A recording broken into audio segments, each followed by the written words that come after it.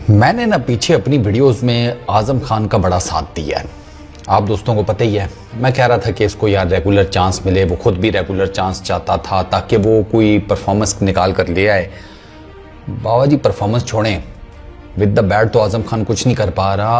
आज उसने जो इंग्लैंड के अगेंस्ट चौथे टी ट्वेंटी मैच में विकेट कीपिंग की है ना अल्लमान अल हफीज़ उसको देखकर मतलब लोग पागल हुए पड़े हैं कि यार ये बंदा, इसको तुमने विकेट कीपर खड़ा किया हुआ है और जो दुनिया के best world world class wicket keepers में से एक है, वो कभी लेग साइड पे फील्डिंग कर रहा होता है डीप में, कभी ऑफ़ साइड पे कहीं डीप में फील्डिंग कर रहा होता है रिजवान।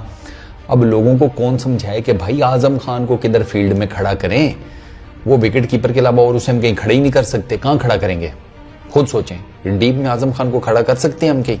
तो ऑब्वियस सी बात है, इसको विकेट कीपर बनाना था और रिजवान को डालना था डीप में, क्योंकि रिजवान तो डीप में कर लेगा। आज़म खान डीप में ना यकीन करें कि वॉक ना कर पाए। वो फील्डिंग तो छोड़ ही देना रनिंग तो छोड़ ही दें। सर फिल सॉल्ट का इसने क्या ड्रॉप किया मोहम्मद आमिर की बॉल के ऊपर? आसान कैच था नॉर्मल विकेट कीपर कैच छोड़ दिया। इसने जैक्स का कैच ड्रॉप किया? हारिस रोफ की बॉल के ऊपर। आसान कैच दोनों आसान कैच जिसे कहते हैं ना विकेट कीपर की ज़ुबान में बोले ना तो डॉली कैचेस आज़म खान ने वो मिस कर दिए बॉल इससे कनेक्ट नहीं हो रहा था।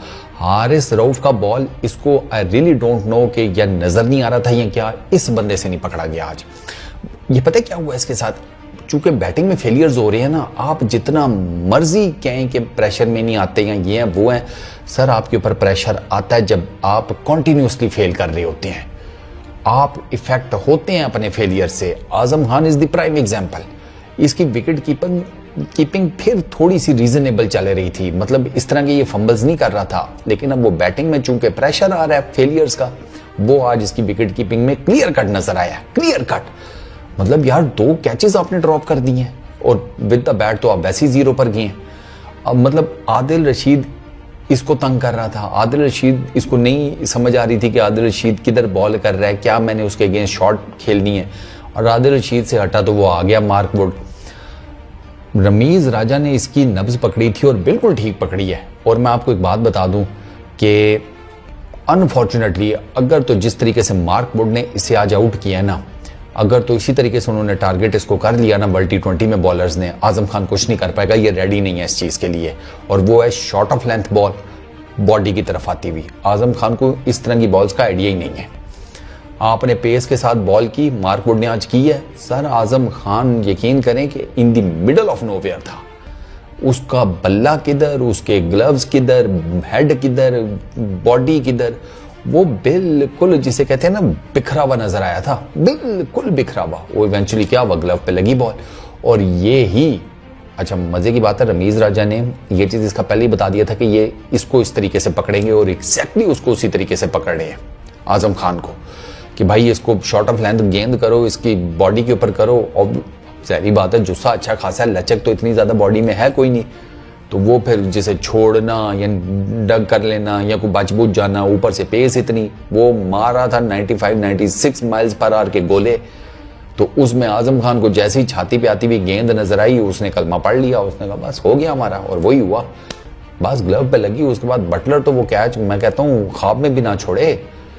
वो इतना आसान कैच था वो आज़म खान थोड़ी है कि इतने इजी कैचेस ड्रॉप करते। तो मैं आपको एक बात बताऊँ, आज़म खान अगर वर्ल्ड टी ट्वेंटी में कुछ कर भी गया ना, मुझे इसका फ्यूचर इतना खास नज़र नहीं आ रहा। फिटनेस पर ये अपनी काम करना नहीं चाहता, वो सारी दुनिया को पता है। इसकी फिटनेस को लेकर मैं सिर्फ़ ये कहता था कि अगर परफॉर्म कर लेगा ना तो फिटनेस वाला जो एलिमेंट है ना इसका, वो लोग निगेट कर जाएँगे। क्या फ़र्क पड़ता है? विकेट कीपिंग ठीक कर रहा है बैटिंग में आकर मार धाड़ कर रहा है।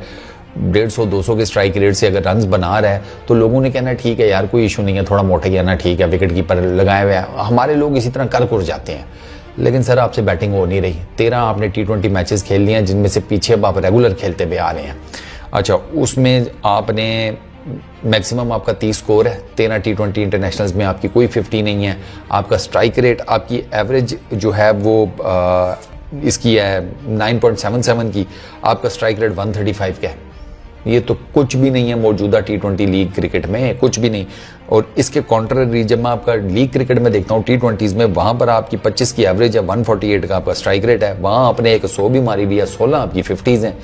तो सर, वो फिर इसका मतलब है कि लीग क्रिकेट आपको इस लेवल का पॉलिश नहीं कर सकी आप आकर इंटरनेशनल क्रिकेट में डोमिनेट करें।